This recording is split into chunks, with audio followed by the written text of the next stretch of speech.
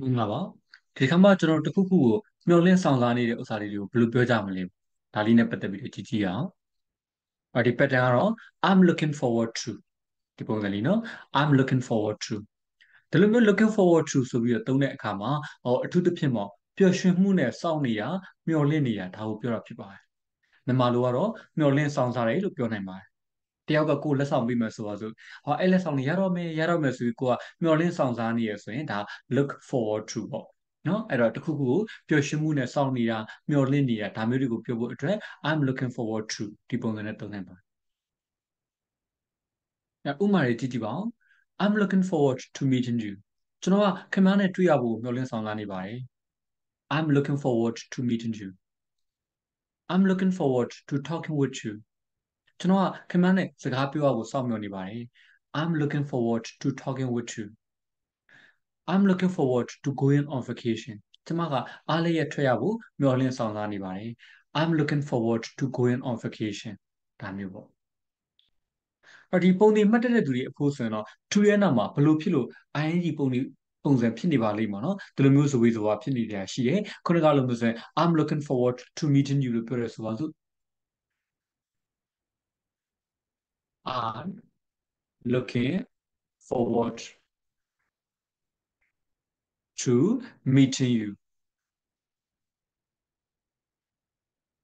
ဒီပထမဆုံးဥမာပြလိုက်တယ်အဲ့တော့ပုံသင်မှတ်တဲ့သူဆိုတော့ဒီ to ရဲ့နောက်မှာ verb ing ဘယ်လိုဖြစ်နေပါလိမ့်မ to ရဲ့နောက်မှာ infinitive ပုံစံမဟုတ်ဘူးလားစသဖြင့်စဉ်းစားကြရရှိတယ်အဲဒါပေမဲ့ဒီ look forward မှာပါတဲ့ to ကြတော့ preposition ဖြစ်ပါတယ်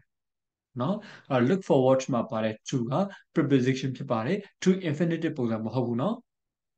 အဲ to ရဲ့နောက်မှာ noun phrase ပေါ့ noun phrase ဆိုမြန်မာလိုပြောမယ်ဆိုရင် noun ပုစုဒါမှမဟုတ် verb ing ပုံစံသုံးရတယ်ဒီ verb ing ပုံစံဆိုတော့ gerund လို့ခေါ်တာပေါ့ကဲဒါထားလိုက်ပါတော့အဲ့တော့ noun phrase ဒါမှမဟုတ် gerund ပုံစံမျိုးသုံးရတယ် verb ing ပုံစံသုံးရဒါကြောင့်မလို့ကျွန်တော်ပြောမယ်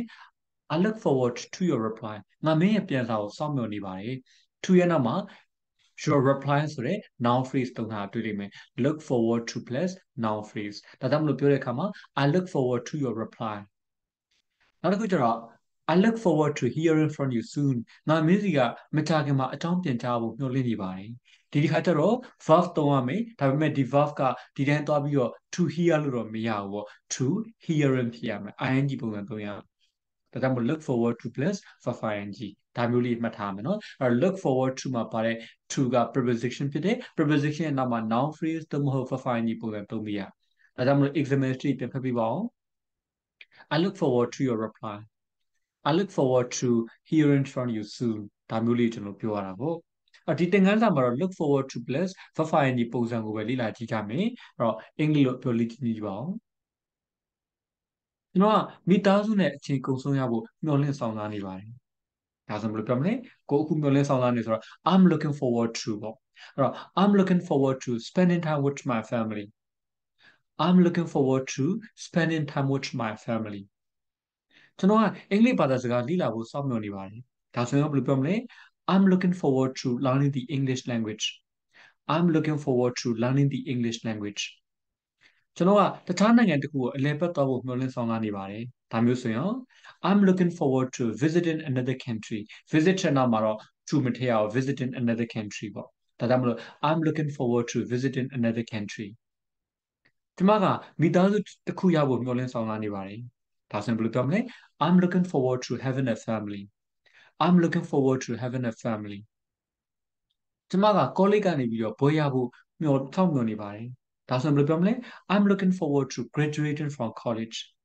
I'm looking forward to graduating from college ဒါမျိုး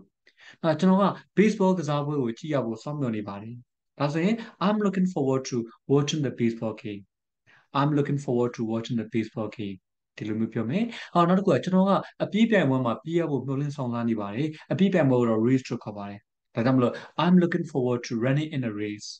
I'm looking forward to running in a race ဒီလိုမျိုးလေးကျွန်တော်ပြောလို့ရတာပေါ့။အဲ့တော့နမူနာဝတ်ကြလေးတွေကိုပြန်ပြီးတော့ကြည့်ကြည့်အောင်။လေ့ကျင့်တဲ့အခါမှာအတူတူလိုက်ပြောကြည့်ကြမယ်နော်။ I'm looking forward to spending time with my family.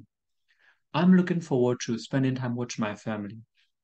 I'm looking forward to learning the English language. I'm looking forward to learning the English language. I am ဒါအတူကမပြောဘဲနဲ့ဒီလိုအပြည့်ပြောလို့လည်းရတယ်ဆိုတဲ့သဘောအဲ့တော့ I am looking forward to visiting another country I am looking forward to visiting another country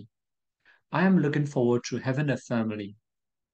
I'm looking forward to having a family I'm looking forward to graduating from a college I'm looking forward to graduating from a college I'm looking forward to watching the baseball game I'm looking forward to watching a baseball game I'm looking forward to running in a race. I'm looking forward to running in a race. ဒါဝေကြလေးဒီအခောက်အခါကပြောလို့ဆိုတော့လေ့ကျင့်လို့ရအောင်လို့နော်အဲဒါဆိုကျွန်တော်တို့တခုခုကိုမျှော်လင့်ဆောင်စားနေတဲ့ဆိုတဲ့အကြောင်းပြောချင်တဲ့အခါမှာ I'm looking forward to ပုံစံကိုသုံးပြီးတော့ကိုဘာကိုမျှော်လင့်ဆောင်စားနေရအားလေးကို verify ကြီးပုံစံသို့မဟုတ် noun ပုံစံသုံးပြီးတော့ပြောလို့ရပါတယ်ဒီလိုမျိုးလေးတွေကိုမျှော်လင့်ဆောင်စားနေတဲ့ဥစ္စာတွေကိုစဉ်းစားပါပြီးတဲ့အခါကျရင် I'm looking forward to verify ကြီးသုံးပြီးတော့ပြောကြည့်ပေါ့ဒါဆိုရင်ကိုယ့်ရဲ့အင်္ဂလိပ်စကား ပြောဆိုပုံလေးတွေပို့ပြီးတော့တွက်လက်လာပါလိမ့်မယ်အားလုံးကိုကျေးဇူးတင်ပါတယ်